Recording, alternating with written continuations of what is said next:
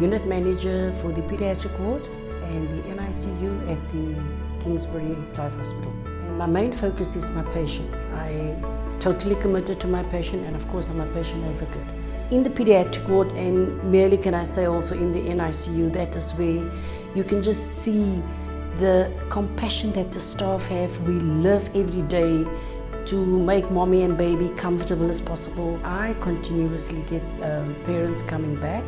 They've come back because they felt that they got the best care.